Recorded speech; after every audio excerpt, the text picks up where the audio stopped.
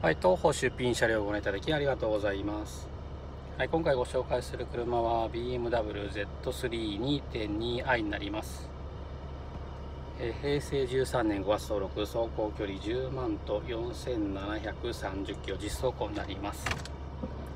はい、修復歴はございません。はいそれでは試乗してみたいと思います。